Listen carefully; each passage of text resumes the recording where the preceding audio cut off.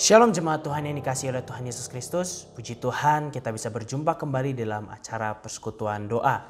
Sebelum saya akan menyampaikan kebenaran firman Tuhan pada malam hari ini, ada baiknya kita berdoa terlebih dahulu.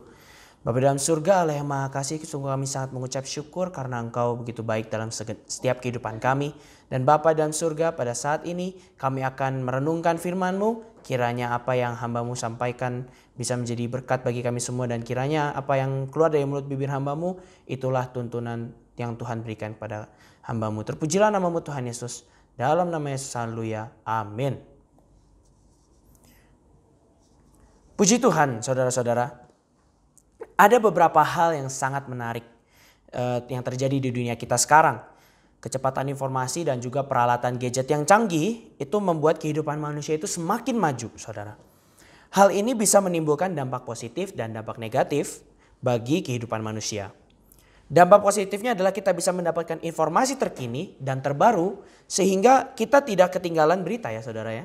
Kalau sekarang kan berita-berita itu uh, sangat cepat sekali sampai kepada kita dan kita bisa langsung baca, kita bisa langsung oh i, ternyata ada i, hal ini yang terjadi di dunia kita. Dan terlebih lagi firman Tuhan juga bisa didapatkan dengan mudah dan bisa dikonsumsi setiap harinya. Namun ada dampak buruknya saudara. Salah satunya adalah seperti apa yang dibicarakan oleh pendeta Stephen dua minggu yang lalu. Gadget bisa membuat kita menjauh dari Tuhan dan kembali ke dalam kehidupan dosa. Jadi menjauh dari kemerdekaan yang sejati tersebut gadget itu bisa menjadi salah satu uh, hal yang bisa membawa kita ke dalam ranah tersebut dan juga sebenarnya ada dampak buruk yang lain. Manusia juga mudah disodorkan berita-berita yang bersifat hoax atau berita yang bersifat palsu, bohong atau fakta yang dipelintir atau direkayasa untuk tujuan lelucon hingga serius. Jadi ada yang buat lelucon ya saudara, tapi ada juga yang buat serius. Uh, ini apa namanya hoaxnya disampaikan dan kemudian orang-orang jadinya percaya kepada berita tersebut tanpa uh, menganalisa lebih jauh tentang berita yang mereka dengar. Hal ini yang juga dialami oleh firman Tuhan di era zaman ini. Banyak sekali penafsiran-penafsiran dan firman Tuhan yang bisa saudara dengarkan melalui media sosial tentunya.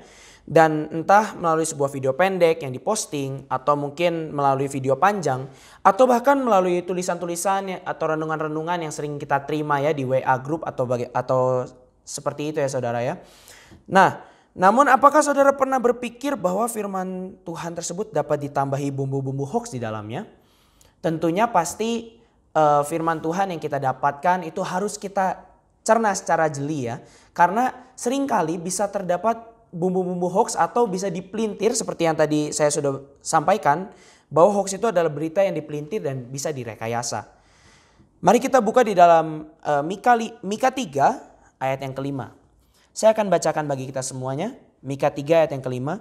Beginilah firman Tuhan terhadap para nabi yang menyesatkan bangsaku, yang apabila mereka mendapat sesuatu untuk dikunyah, maka mereka menyerukan damai, tetapi terhadap orang yang tidak memberi sesuatu ke dalam mulut mereka, maka mereka menyatakan perang. Dalam kitab Nabi Mika dijelaskan bahwa pada masa itu nabi-nabi yang ada di Israel adalah nabi-nabi yang memberitakan harapan dan keamanan palsu. Jadi kalau misalnya mereka diberikan sesuatu, diberikan uang, diberikan makanan, diberikan apa pun untuk menopang kehidupannya mereka, barulah mereka akan menyerukan hal-hal yang berupa damai, berupa keamanan, berupa berkat. Tetapi jika tidak, mereka menyatakan perang. Gimana sih maksudnya ini? Uh, apakah di zaman sekarang ini ada hamba-hamba Tuhan yang seperti itu, yang uh, dapat menyerukan perang kalau dia tidak men mendapatkan apa yang dia mau, apa yang dia inginkan, maka dia menyerukan hal-hal yang suka-sukanya saja. Nah, saya akan memberikan contoh yang lebih dekat gitu ya, yang bisa lebih kita mengerti lagi uh, untuk memahami ayat di dalam Mika 3 ayat uh, Mika pasal 3 ayat yang kelima ini.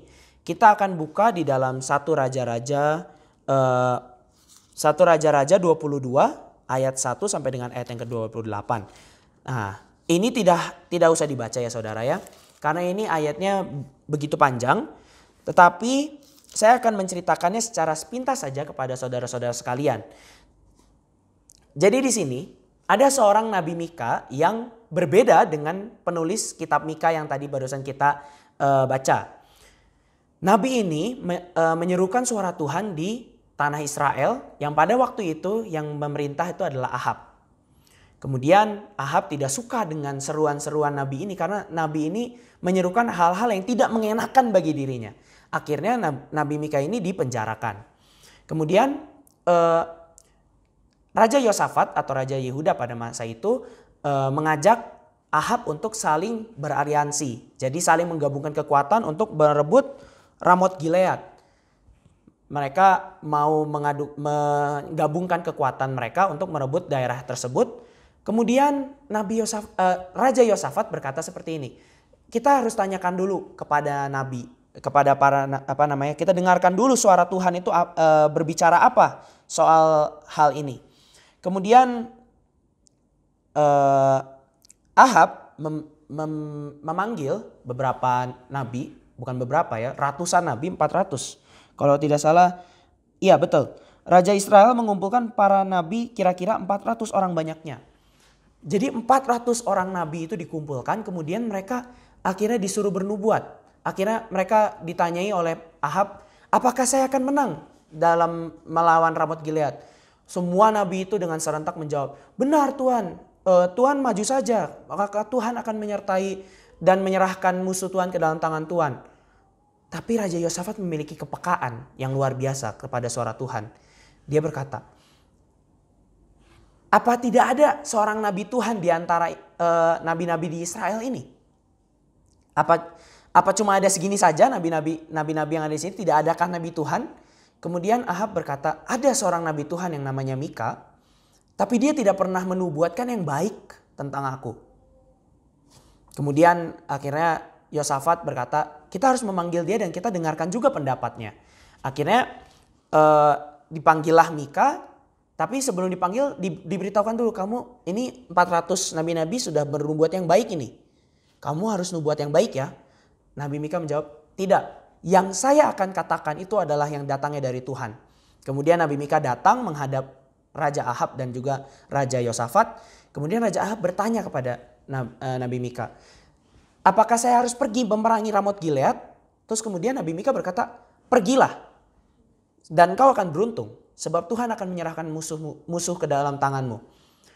Nah, aneh kan? Firmannya kok kok sama seperti para nabi yang 400 itu. Akhirnya Ahab berkata, harus harus berapa kali kamu bersumpah e, demi jawaban itu benar? Kamu harus bersumpah. Ini benar jawaban Tuhan gitu loh. Seperti itu loh saudara. Kemudian Nabi Mika menjawab, sejujurnya apa yang Tuhan mau lakukan adalah menyerahkan uh, apa namanya membunuh Tuhan di peperangan itu. Karena kalau uh, apa namanya semua nabi-nabi 400 nabi itu sudah diberikan roh dusta ke dalam mulut mereka. Sehingga mereka berbicara semuanya sama, yaitu untuk membujuk raja untuk perang sehingga raja mati. Nabi Mika sudah berkata seperti itu. Tetapi Ahab tidak mendengarkan itu. Ahab malah berkata bahwa wah kam, apa namanya kamu harus dipenjara lagi dan berikan dia makanan serba sedikit sampai saya pulang. Kemudian Nabi Mika berkata, kalau engkau pulang, kalau engkau pulang maka Tuhan tidak berbicara dengan aku. Maka Tuhan, e, maka saya itu bukan Nabi Tuhan. Dengarlah, dengarkanlah saya gitu. Akhirnya dia tidak didengarkan. Kemudian akhirnya betul saja pada waktu perang di Ramot Gilead tersebut, Ahab berusaha untuk mencari keamanan ya. Jadi dia menyamar sebagai prajurit biasa. Kemudian Yosafat disuruhnya memakai baju kebesaran. Tetapi waktu pada waktu e, mereka menyerang Ramot Gilead, yang pakai baju kebesaran mau dibunuh nih sama musuh. Tapi Tuhan melindungi Yosafat. Sehingga mereka tahu, oh ini bukan Raja Israel. Kemudian ada seorang prajurit yang menembakkan panah sembarangan. Akhirnya terkenalah Ahab di antara sambungan baju zirahnya. Dan matilah Ahab di situ.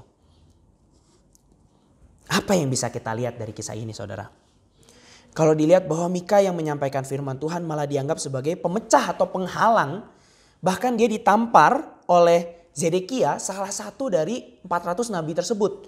Ditampar eh, itu adalah bukti bukti nyata dari apa yang dituliskan oleh Mika orang Moreset dalam kitabnya. Jadi ini tuh adalah sebagai percontohan ya. Walaupun Mika yang terdapat di kitab Mika dan Mika yang terdapat di kisah ini berbeda, tetapi e, menariknya adalah mencontohkan hal yang realnya adalah di kitab ini gitu. 100 tahun sebelum Mika yang di, yang Mika orang Moreset ini menuliskan dalam kitabnya kata-kata seperti tadi di dalam Mika 3 ayat 5. Pada masa informasi yang super cepat ini, banyak sekali informasi dan firman Tuhan yang dengan mudah mendapat viral karena isinya yang begitu mendamaikan. Kalau orang bercerita tentang damai, orang bercerita tentang berkat, pastinya banyak sekali orang yang mau mengikut. Tetapi kalau firman Tuhan itu sudah menyinggung ke tahap teguran, menyinggung ke tahap yang yang sangat bisa menyakitkan hati, maka tidak tidak akan ditonton, tidak akan dilihat, bahkan tidak disukai. Karena secara nyata nabi-nabi palsu itu ada di dalam dunia ini. Apalagi dengan informasi yang tersebar dengan cepat, maka pengajaran yang memberitakan damai palsu itu bisa menyebar dengan sangat cepat. Jadi ada dua hal, ada dua target yang saya yang saya uh, paparkan di sini yaitu bagaimana dari sudut pembicara dan bagaimana dari sudut saudara-saudara sekalian semua sebagai pendengar. Bagaimana menurut saudara tentang apa yang pernah saya baca dan dengarkan? Ada hamba Tuhan yang berkata, kita tidak usah pakai masker atau kita tidak usah takut beribadah karena iman kita jauh lebih luar biasa dari pandemik ini. Menurut saudara benarkah?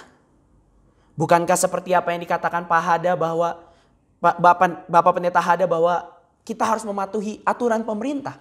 Pemerintah berkata seperti itu kan pemerintah itu adalah wakil Tuhan. Seperti yang tertulis dalam Alkitab. Atau bagaimana tanggapan saudara mendengar sebuah seorang hamba Tuhan yang meminta jemaatnya untuk memberikan persembahan untuk membeli pesawat jet dengan tipe yang sangat spesifik, tipe yang paling mahal. Tujuannya untuk apa? Katanya untuk kedok penginjilan. Kalau untuk penginjilan, tidak perlulah kita membeli pesawat jet kita bisa langsung mendistribusi segalanya dengan pesawat yang mungkin lebih murah sehingga banyak orang lagi semakin tertolong. Tapi kenapa harus pesawat jet ini? Saudara bisa menilai sendiri bagaimana atau apa yang yang terjadi di era zaman ini tentang pengajaran Tuhan. Bagi saya, hal-hal seperti ini bukanlah firman yang Tuhan inginkan. Karena banyak hamba-hamba Tuhan yang menganggap firman Tuhan sebagai sebuah hal yang remeh dan dapat dimanipulasi. Kemudian diberitakan kedamaian palsu yang tidak ada teguran, tidak ada introspeksi, tidak ada pertobatan, melainkan semuanya hanyalah berita menyenangkan hati.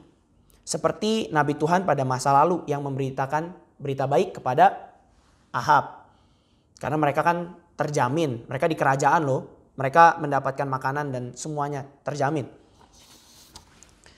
Pada masa sekarang pengajaran yang diutus Tuhan menyampaikan pengajaran yang benar dianggapnya melemahkan iman memecah belah jemaat, dan sebagainya. Suatu perenungan bagi hamba-hamba Tuhan, bukankah seorang hamba Tuhan diberikan hikmat untuk menyampaikan apa yang menjadi isi hati Tuhan? Seperti yang tercatat dalam kitab Amsal 3 ayat 5, percayalah kepada Tuhan dengan segenap hatimu dan janganlah bersandar kepada pengertianmu sendiri. Jadi apa yang Tuhan berikan kepada kita itu harusnya kita sampaikan. Jangan ada pemikiran bahwa wah kalau ini materinya sih nanti nggak akan viral nih. Wah materinya kayaknya kurang menarik nih. Tetapi apa yang Tuhan mau itu haruslah yang kami beritakan. Itu yang harus kami para hamba-hamba Tuhan beritakan kepada saudara-saudara sekalian. Lalu kemudian untuk saudara, bagaimana cara membedakannya? Bagaimana cara saudara menilai bahwa ini adalah firman Tuhan yang berisi kedamaian palsu atau kedamaian asli?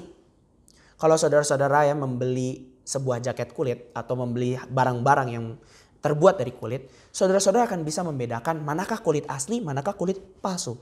Kalau kulit asli maka bisa aman sampai bertahun-tahun pun akan aman saja, akan bagus gitu. Tapi kalau kulit palsu berapa lama nanti tiba-tiba kulitnya lepas-lepas lah. Ya seperti itulah kualitasnya tidak bisa menyamai yang asli. Tetapi sangat persis kalau misalnya kita lihat secara sekilas sangat persis. Inilah yang harus kita minta di dalam doa kepada Tuhan.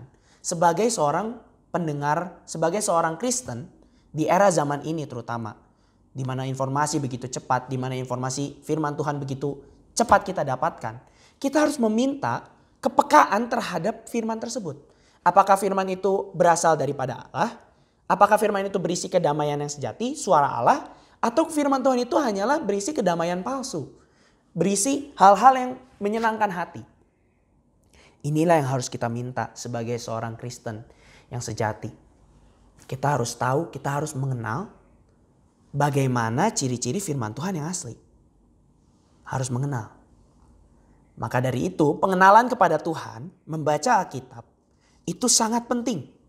Dan juga berdoa itu sangat penting. Dengan berdoa kita bertanya kepada Tuhan, apakah firman Tuhan ini berasal daripada engkau?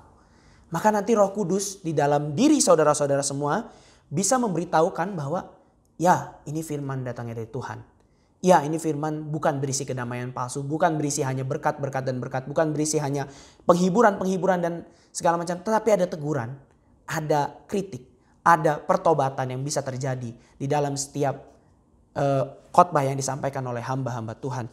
Jadi mintalah kepekaan kepada Tuhan melalui doa kepada Tuhan. Dan juga pengenalan akan firman-Nya. Sehingga kita semua sebagai jemaat Tuhan bisa mendapatkan pelayanan firman Tuhan yang terbaik. Bisa mendapatkan pesan Tuhan yang Tuhan mau sampaikan kepada saudara-saudara sekalian. Dan bagi kami, para hamba-hamba Tuhan, kami harus selalu mengandalkan diri kami kepada Tuhan. Dalam hal kami menyampaikan firman Tuhan. Sehingga apa yang menjadi kehendak Tuhan untuk kami sampaikan, itu dapat memberkati saudara-saudara dan hati Tuhan pun disenangkan oleh pemberitaan kami. Puji Tuhan, kiranya firman Tuhan ini memberkati kita semua. Marilah kita sama-sama berdoa. Bapak dalam surga Allah yang maha kasih sungguh kami sangat mengucap syukur Bapak atas zaman yang sudah Engkau berikan pada kami pada hari pada zaman-zaman ini di mana kami bisa menikmati informasi yang demikian cepat, bisa menikmati gadget, bisa menikmati hal-hal yang yang serba instan Bapak. Tetapi tolonglah kami dalam kepekaan kami mendengar firman-Mu. Dalam kepekaan kami mengetahui bahwa firman ini berasal daripada Allah bahwa firman ini adalah suara Allah daripada kami mendengar pengabaran pengabaran-pengabaran yang menenangkan tetapi tidak berisikan firman Allah. Lebih baik kami mendengar suatu hal yang menyakitkan tetapi itu berisi firman Allah. Pada zaman ini banyak sekali Tuhan postingan-postingan yang bisa menggoyahkan iman kami. Karena itu kami berdoa untuk hikmat-Mu Tuhan agar kami dapat memilah-milah segala macam informasi yang masuk ke dalam gadget kami dan kiranya Tuhan sendiri yang menolong kami semua juga para pembicara sehingga kami dapat membicarakan selalu firman Tuhan, membicarakan isi hati Tuhan, bukan membicarakan apa yang ada di dalam hati kami, apa yang viral, mencari ketenaran, bukan Tuhan, tetapi kami mau untuk menjadi alat-alatmu yang luar biasa. Kiranya firman Tuhan pada malam hari ini menguatkan dan mengingatkan kami semua pada sore petang malam hari ini Bapa dalam acara persekutuan doa ini. Terpujilah namamu Tuhan, di dalam nama Tuhan Yesus. Kami sudah berdoa dan mengucap syukur. Haleluya. Amin. Puji Tuhan, kita akan berjumpa lagi lain waktu.